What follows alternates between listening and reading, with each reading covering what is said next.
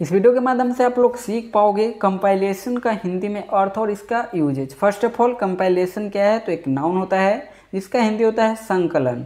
Compilation means संकलन।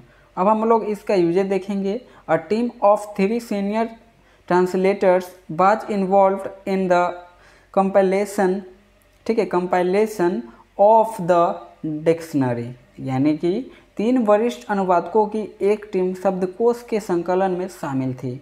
तो I hope आपको ये कंपाइलेशन का फंडा क्लियर हो गया होगा। चैनल पर नया हो तो चैनल को सब्सक्राइब करो और साथ ही साथ बेल आइकन को प्रेस कर लेना। Thank you for watching this video